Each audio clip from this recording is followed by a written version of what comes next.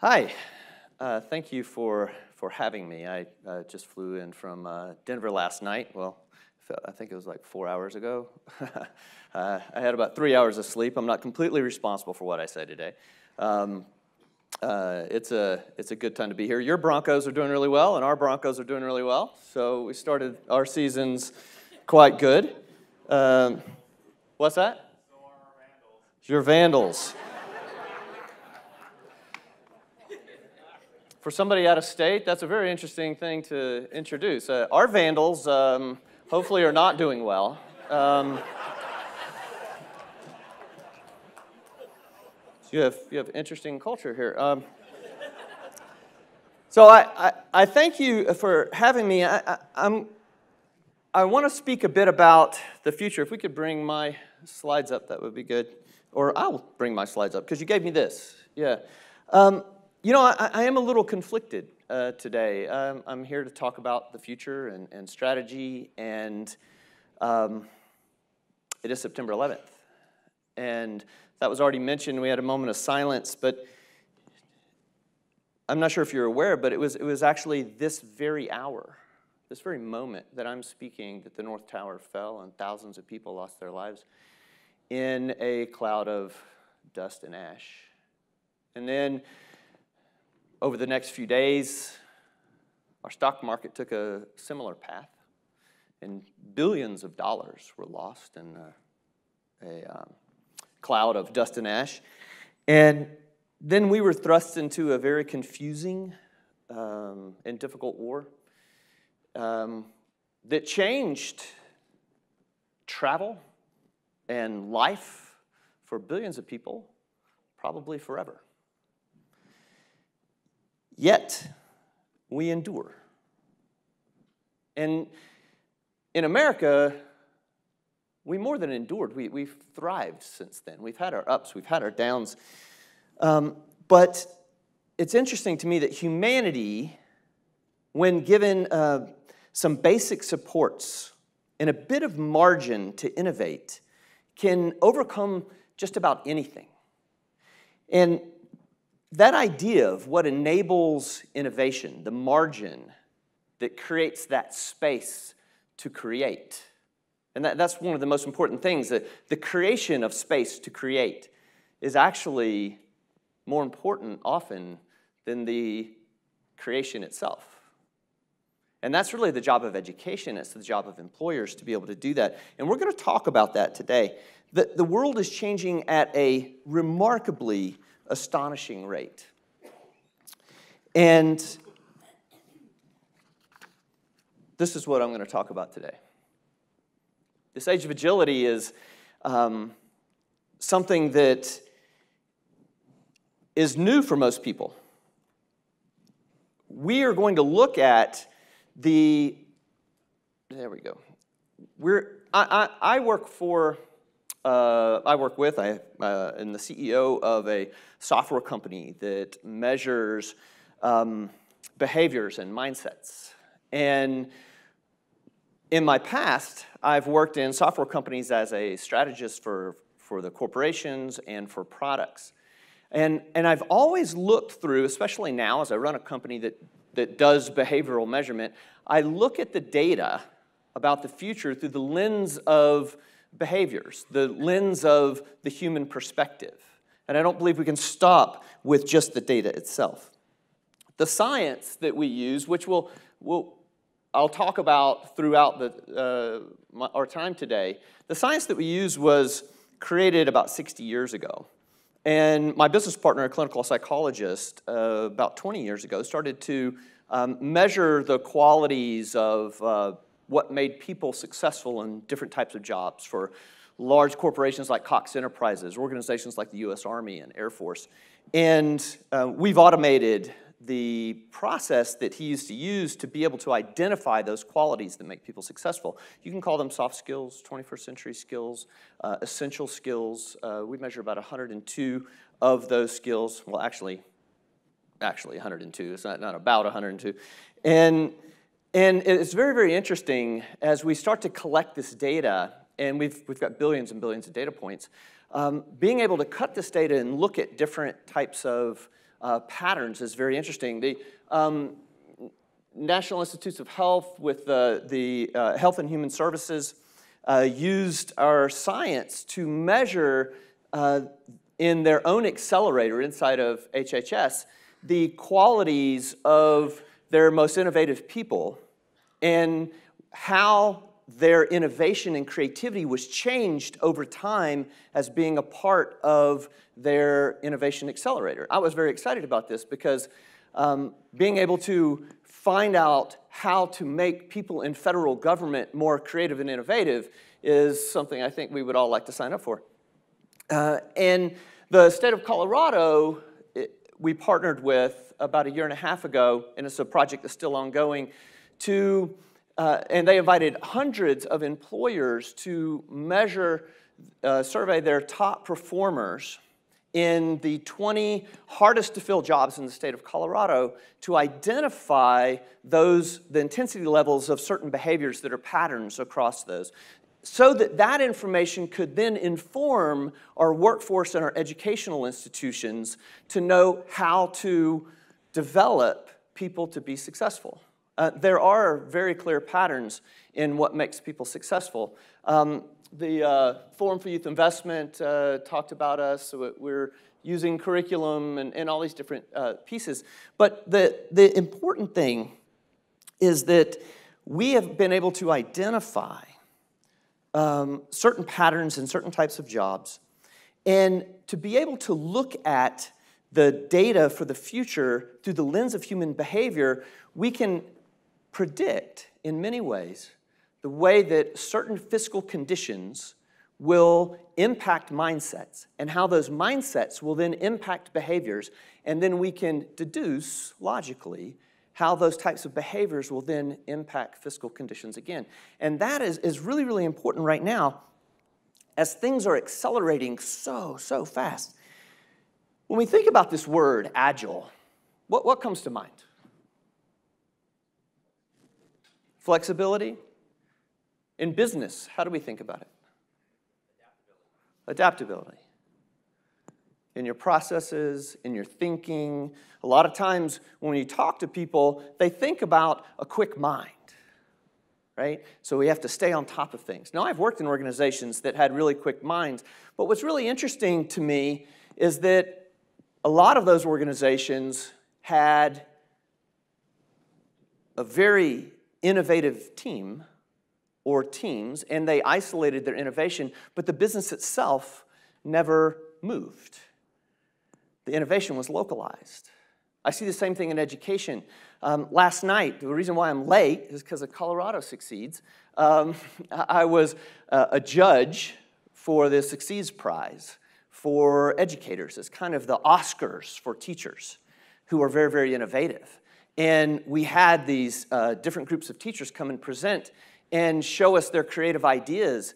And I started to ask questions about how much support do you have in your organization. One teacher actually said, when they said, I, I created this website to share with other teachers around the state and the, and the world how I learned coding, to be able to teach that to my elementary school kids.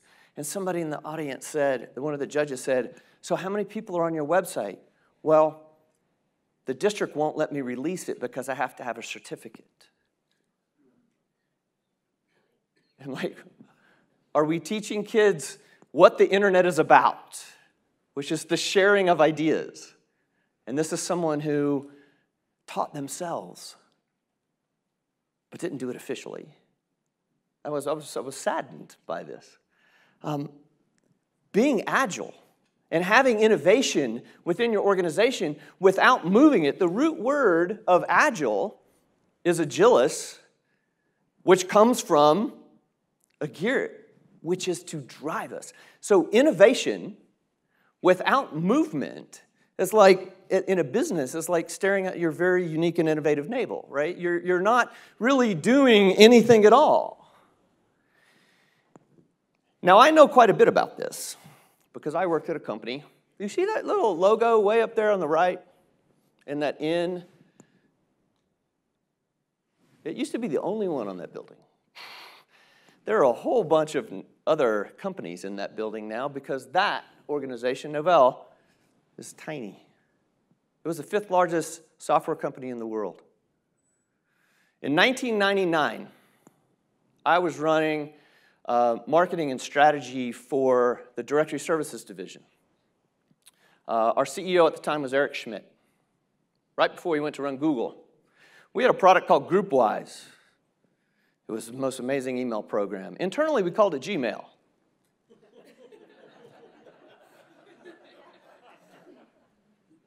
I had a Timex watch that would receive, 1999, I had a Timex watch that would receive my email from my Gmail. 1999. I had an ID card that when I went into my building, and it was set, it was between a certain amount of hours in the morning, by the time I got to my desk, my schedule for the day was printing out on my printer because it knew I had arrived and it knew that's what I wanted. 1999. You ever see any of that stuff? We got to play with it. But the problem was that that business never shifted. Eric Schmidt had a team in Silicon Valley that was incredibly creative. He had a lot of creative people in, in um, uh, uh, Provo and Orem, Utah, where I was, but he couldn't actually get the company to move. And that company now is pretty much almost non existent. The only thing that's remaining is actually one of my products, which is called ZenWorks, Zero Effort Networks. There's a lot of other companies. I actually did a study, I did a bunch of kind of futurist stuff when I was there on uh, really, I, I did a study in 1999 about AOL and that they had the opportunity to become this juggernaut of identity management where your identity would be able to follow you everywhere regardless of your machine. Then Google built that, and AOL. My brother still has an AOL account. Um, he's a boomer, but uh, I'm, I'm, a Gen Xer, so uh, we created the internet, and I have to take credit for that somehow. Um, now, why is all this important? Why is all this important? The world is changing at an exponentially rapid rate, and the ripple effects of this will change everything about how you hire and the global, uh, even here in Boise and around the world. Producing more than you actually need as an individual is a relatively new phenomenon. This is real GDP from since the beginning of life. And look at the growth that has happened there. Now, this is, this is actually quite staggering. It, the reason why this is important is because where does innovation happen? Innovation happens when you have margin. You cannot innovate when you're running for your life. You can think of Maslow's hierarchy or whatever you want. But innovation happens with margin, and prosperity creates margin. And as prosperity increases and margin increases, change happens. Now, if you look at some evidence of this, this is uh, just a, uh, a, where people voted for the most innovative um, discoveries and, and, and creations in time. And it's really, really interesting. In the beginning of time, all these innovations, it was for the elite. So the Greeks and the Romans, Thales and, and even Gutenberg was the son of an aristocrat, created the printing press. But then in the United States, something remarkable happened. A shift occurred where innovation and creation moved from the elite to the average person. But guess what? It only happened after there was a little bit of margin. Thomas Edison worked for Wells Fargo. You know when he started to do his innovations? When he took the late shift. I mean, not Wells Fargo, um, uh, Western Union. And so he was telegraph operator. And he said, Can I have the late shift? and he started to work at night so he could invent while he was at work. He probably wasn't a very good employee, but he was a really good inventor. Now, you think about um, Henry Ford. Henry Ford, son of immigrants, he became an engineer with the Edison Illuminating Company. It actually says, if you go to Wikipedia, this, I'm not a genius or anything, I just read Wikipedia like everybody else. Um, after he was promoted to chief engineer in 1893, he had enough time and money to devote attention to his personal experiments on gasoline engines. I'd like to thank the Edison Illuminating Company for getting us all here today. Wilbur Wright, very normal, healthy teen. And he was in a hockey game, knocked his two front teeth out, got depressed, dropped out of school, stayed at home, and read in his father's library. I'd like to thank a very mean hockey player for my ability to fly here today. Because it was an unfortunate margin, but it was a margin nonetheless. That he was able to think and he was able to create. So, innovators require margin to think, to iterate, and really continually renew their optimism. It's interesting, when we survey startup CEOs, we find that startup CEOs of successful companies are in the upper 92 to 100 percentile of optimism. It's a very measurable, measurable quality. And their innovation and creativity is actually very high. So, on the flip side, too much prosperity leads to complacency. So, there's this kind of sweet spot for most people where there has to be a risk taking innovator and they have to have enough space. Now, how does this affect us now? It's kind of interesting that this is the world living in absolute poverty. Now, the number for absolute poverty is still really, really, really low, but it's dropped from 44% to 9.6% in just the last few decades. Now, with this, you can still see in 1988, there were enormous, there were billions of people still living in abject poverty. But there were almost no measurable percentage of population in developed countries like the United States. So think about where innovation was coming. We're the innovation leaders of the world, right? We created the internet. We created all these wonderful things. What's happened in the last 23 years?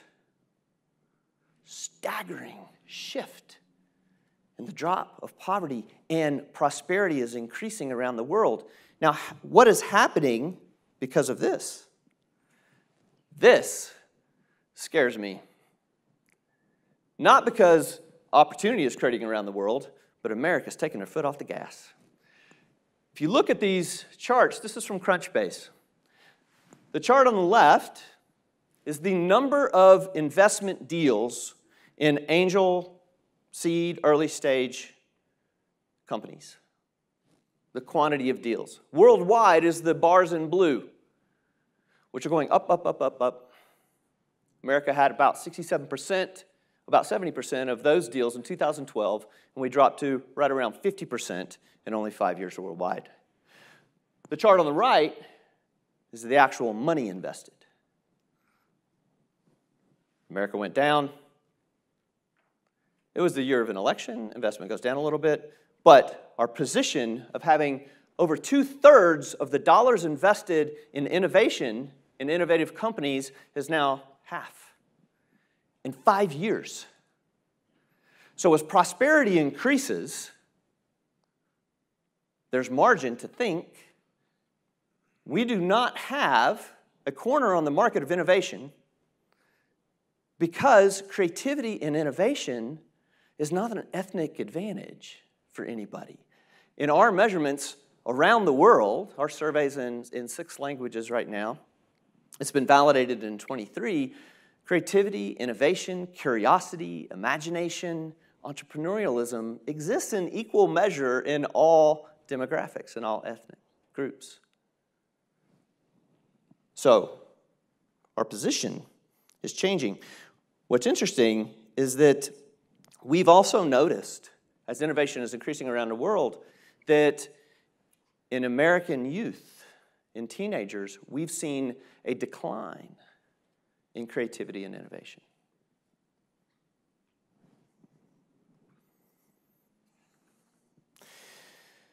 So, as innovation increases, things like this automation increases, jobs are becoming more skilled. This is, I don't know if everybody heard of Otto, that drove Budweiser uh, from, we had to pick beer, of all things. The, the first automated truck delivery in the United States was from Denver to Colorado Springs, um, a truck full of Budweiser beer. No one touched the wheel of this. Somebody was in there, thank God. Somebody was in there, but it, it went without a hitch. Truck driver is the number one job in 24 states in the United States. It is the number two job in what, 19 others, I believe.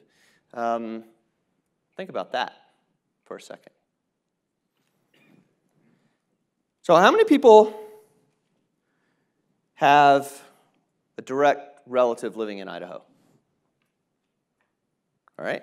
How many people have a direct relative that's a cybersecurity professional? One, two, three, four, five. All right, it's interesting. Do you know how many open cybersecurity jobs there are in the United States? As of 20 minutes ago, it's 301,876. There are actually 50,000 open truck driver jobs in the United States. We don't even have enough truck drivers. But what's happening is we're now recruiting from every type of industry into other industries because of our global prosperity. There are 768,096 people currently employed. So there's, there's about a 45% openings that we can't fill in cybersecurity jobs right now. If all the cybersecurity professionals and all the jobs were filled and they all lived in Idaho, your population would increase 65%. It'd be a really interesting change, wouldn't it? Quite a geeky change. Um, there are actually more cybersecurity professionals employed than in, in Boise and every city and town in Idaho named after a falls or an animal, pretty much. Um, which is a lot, actually, if you look at your cities, my gosh. So, so now we've got a different crisis. You know, if, if, if you look at all the different jobs, there are actually more workers than jobs for low-skilled jobs, right? Uh, there are particular industries for high-skilled jobs like doctors and others that, you know, we have gaps. But as a whole, there are actually more workers. In the middle-skilled jobs, there's a 19% gap. Now, this, these make up over 48% of all openings in the United States, and there's just not enough people. Do you think this is going to get better or worse? It's going to get a whole lot worse because guess what? Innovation is increasing. No, it's interesting that as innovation is increasing, everyone's freaked out, oh, we're going to lose our jobs, right? Well, they're creating new jobs, but they're creating different jobs and they're more higher skilled. What we're going to have to do as an education system to deal with this is instead of teaching people what they need to know, we're going to have to teach them how to learn. Instead of teaching people what to think, we're going to have to teach them how to think. I love it when the shift that we're seeing where people are moving even from project based learning to problem based learning because the world that they're facing is going to look completely different than it does in middle school by the time they get out of high school. Now, what's interesting is that this situation has occurred before, but it's never occurred in the history of the United States across all industries unless we were in a direct war. Never in our history. So in the 1980s, think about 1985, the world of the personal computer. What were they teaching in our colleges and universities? Fortran and COBOL. Who, who was actually doing hiring for uh, people with PCs, uh, PC experience back in the 80s? I was one of those people. You, you, you would have to be older than me for that, but which is probably hard right now. employers couldn't find people, right? So what did they do? They started to train their own people internally, get certificates from HP, Compaq, Novell, and others. But people without experience, without college degrees, were getting jobs. They were stacking certificates because they understood the technology, and employers were desperate. So they hired them without a college degree. They had to broaden their view of talent. Now we find that exact same situation across virtually every industry because you know what's common across every industry? Technology. There hasn't been a commonality across every single industry before. There was more specificity. So the skills that are transferable, the soft skills and certain hard skills, are going to work. Now, give people the ability to work. Now, we had a, a bit of a solution for this with international workers. There's some interesting statistics. Um, did you realize that greater than 70% of all full time graduate students in electrical engineering are foreign born in the United States? 63.2% in computer science, not raised up in our schools. 60.4% in industrial engineering, and more than 50% in chemical, materials, mechanical engineering, as well as economics, all foreign born. There are seven major universities with greater than 90% foreign students in their engineering programs. In computer science, there are eight universities, major universities, that have over 90% foreign. Why are our students not getting into these schools? Now, I don't, I don't have a problem at all with I'm a big fan, H-1B visas. I, I, used, I loved that we were training um, all these brilliant people from around the world because I would hire them. But now, guess what? There's global prosperity. They're going back home. We can't even poach the foreign students, the foreign nationals that we're training anymore. So that part of our talent pipeline is even going away. And boy, they are innovative. 47% of every startup in Silicon Valley in the last seven years had a foreign born founder. And now they're going home, a lot of them.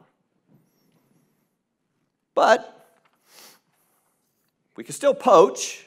This is the actual homepage for a website from a bunch of Colorado companies that are not shy about it.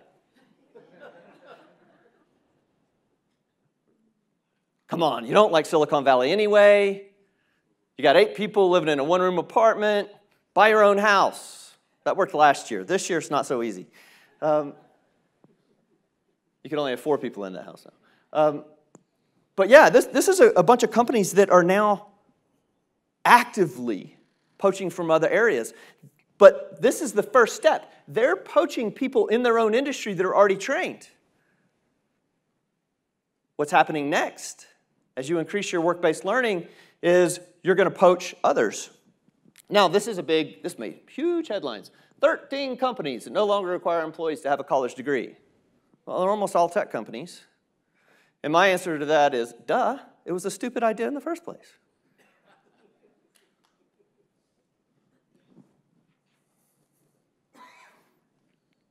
But this is the first step. They're broadening their view of talent. They're looking elsewhere for that talent, and they're upskilling their own staff.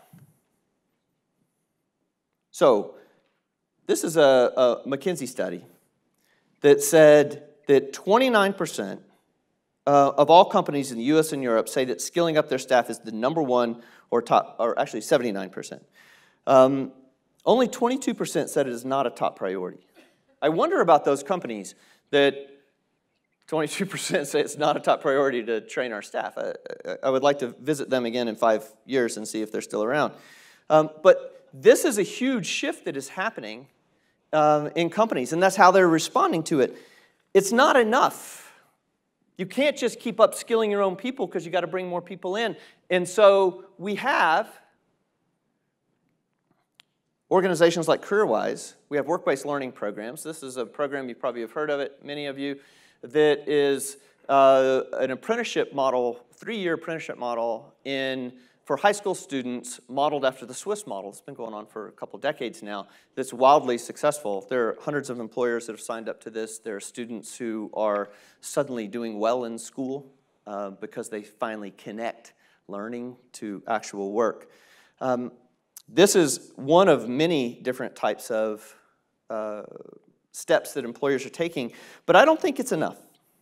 Each one of these are small stopgap motion moment. Uh, they're not going to address the bigger problem. One of the problems is that now, as I start to look for talent in different places, how do I vet them? How do my managers know how to interview people? Right? When they don't fit that mold of what I want. And how do you make your organization more competitive and innovative when you're just trying to put people in seats? The, the, the sense is that you have to compromise. We talk to people all the time, and they go, I want more top, uh, I want to increase my diversity. And they think they're going to have to settle for B players to be able to do that, which to me is horribly insulting. The key, I believe, is diversity. The thing that will create America or secure a position as the innovative leader is diversity. But what do you think of when I say diversity? Diversity in a company. What, what comes to mind? What's that? Ethnic diversity. Let's make our company more colorful.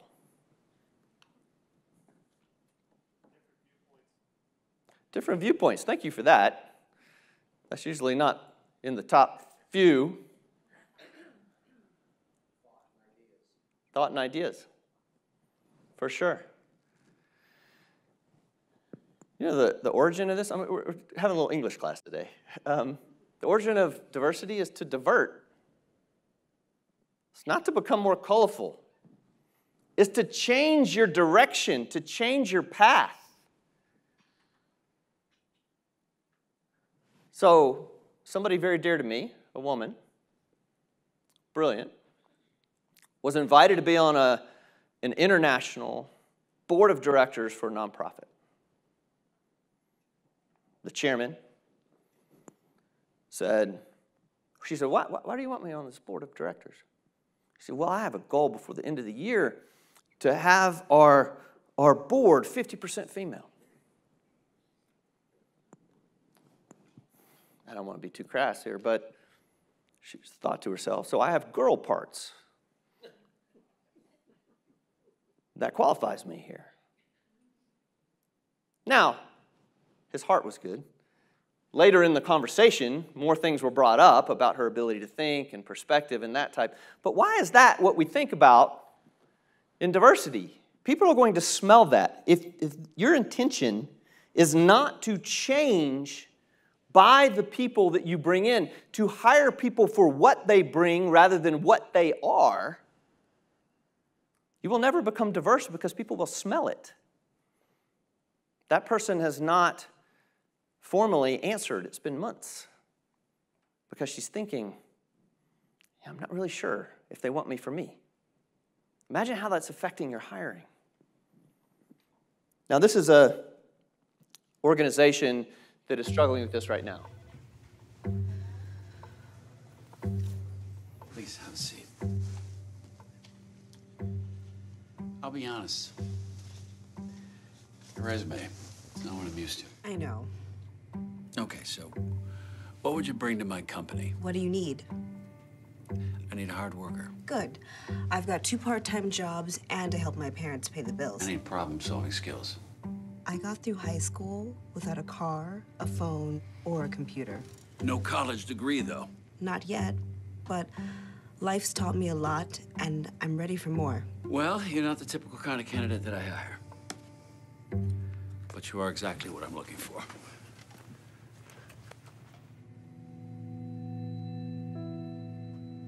Your company could be missing out on the candidates it needs most. Learn how to find, cultivate, and train a great pool of untapped talent at gradsoflife.org. No, I'm not a pitch man for Grads of Life. I just love the organization and I love that video and I think it's incredibly powerful and profound. And I wonder, did this woman believe that she deserved that job because she was a black female? I don't think so. What would get her into the interview? What would get her there? What's required? She has to believe she can do it. Where does that come from? It comes from some part with people that told her she can. I, understanding what is required to succeed in that job. It requires the belief of an employer of what truly is necessary. Something really interesting happened in there.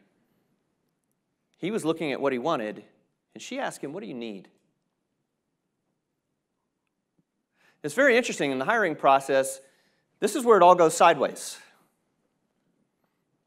An employer goes to the recruiters, he goes, I got to hire somebody. What do you want? I want a four year degree. I want somebody like this, this, this, because that's what they think they have. But what's, what's interesting is it's not necessarily what they have. I'm going to jump aside here. This is an example of what somebody thought they had versus what they really had.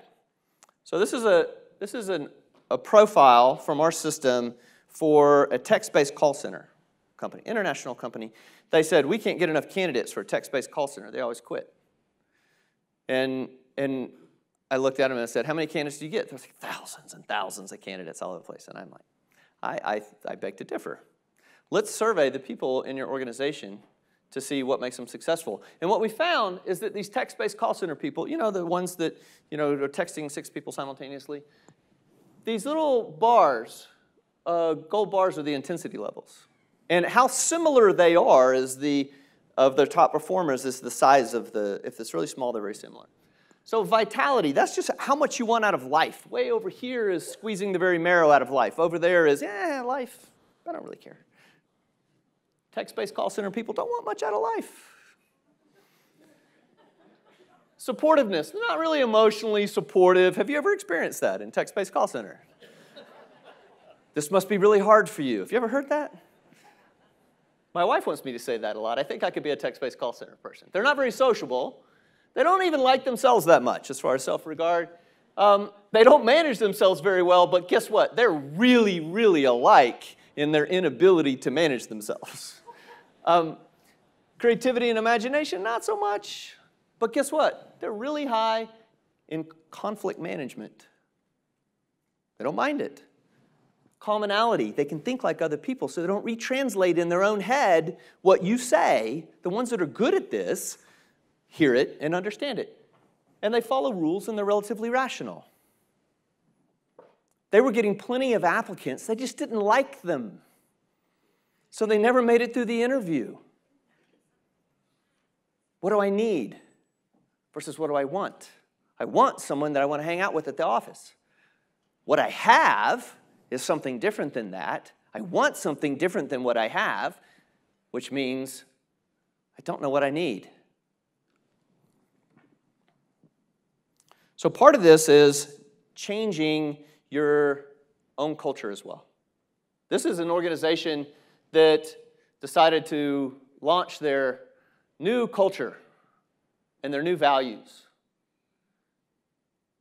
And there was lots of excitement. It's a little grainy, but you kind of get the idea. I hid the names to protect the guilty. Um, but part of this is starting at the top. It's moving to understanding what you really need. Now, I'm talking a lot about diversity. I'm a middle aged white guy that runs a software company. What do you think about my life? Where'd I go to school?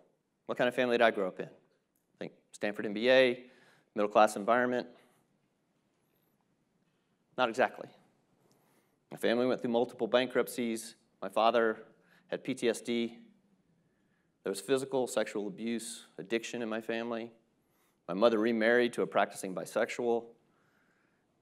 I had three different ethnicities in my family. I dropped out of community college after two months because I got tired of raising my parents.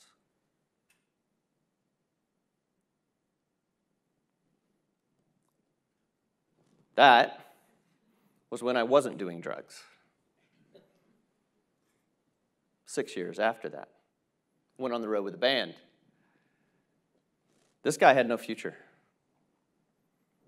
until educators and businesses said, I see more in you. And I got a certificate. And that certificate changed my life. And it led to another, and led to another, and led to another. And I eventually worked directly for this guy. I think that may actually be my speech I wrote for him before he went to run Google.